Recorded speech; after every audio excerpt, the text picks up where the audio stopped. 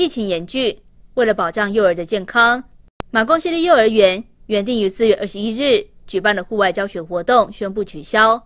市长叶竹林表示，因国内疫情连日连日的破千，澎湖也新增确诊病例，有鉴于幼儿未施打疫苗，为了保障幼儿的健康，决定将户外教学的活动取消，并提醒学校的老师特别注意幼儿的健康状况，加强宣导防疫。马公市立幼儿园也特别提醒老师、工作人员及家长们。如果与确诊者的足迹重叠，请务必做好自主健康管理。若有呼吸道等症状，请先至特约定点诊所挂号看诊。经过医生评估后，发放公费 COVID-19 家用快筛试剂，请立即配合居家裁剪，并回报诊所或学校快筛结果。马师又指出，平时就提醒家长，若幼儿有健康状况，要主动告知。目前因幼儿园学童无法施打疫苗，感染风险高。所以幼童健康特别需要重视，必须优先保护。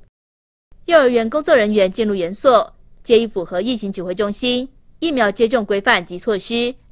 来宾、家长、访客，非必要者不得入园，请多加包涵，并务必配合，以守护全员师生的安全。市长叶竹林强调，马公市立幼儿园也落实每日活动空间清洁消毒及通风，为强化师生健康监控。全员师生除了用餐、饮水外，全程佩戴口罩，并维持社交安全距离。用餐避免交谈，并使用隔板，维护彼此的健康。也恳请家长留意孩子健康状况，倘若有不适的症状，应尽速就医，并确实落实生病不上班、不上课、不入园。马公施工所防疫标准依疫情发展做滚动式的调整。